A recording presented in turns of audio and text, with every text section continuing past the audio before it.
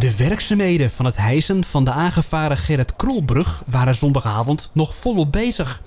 In de nacht van vrijdag op zaterdag werd de brug aangevaren door een binnenvaarttanker. Sindsdien kan de verbinding niet gebruikt worden door fietsers en voetgangers en is ook het scheepvaartverkeer gestremd. Maandagochtend moeten beide voetgangers en fietsbruggen weer gebruikt kunnen worden, hoewel Rijkswaterstaat zondagavond liet weten dat men met een kleine tegenvaller te maken heeft. Ja, we zijn nu het eh, ponton eh, aan het opvijzelen onder eh, de brug. De drijver die er normaal ook onder zat al, al die jaren, die, die proberen we er nu weer onder te brengen. Er is een klein snack, hij is een beetje vol met water gelopen, dat zijn we er nu aan het uitpompen. Verder geen groot probleem, gaat even wat langer duren. Dadelijk zit die drijver er weer onder. Dan pompen we hem leeg, zodat hij gaat drijven. Dan tilt hij de brug omhoog.